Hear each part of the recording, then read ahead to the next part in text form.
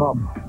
I am the supreme fighting machine, and I demand competition. Two weeks ago, you've seen what I did to that so-called opponent.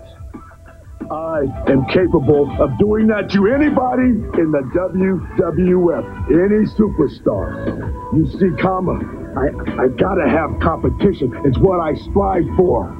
Now, next week on Superstars, I better get some competition.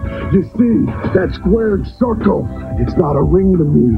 It is my house. And in that house, I serve pain. You're going to school, boys. You're going to the learning tree. And at that learning tree, I am the principal. So everyone, get ready because Kama is no longer coming.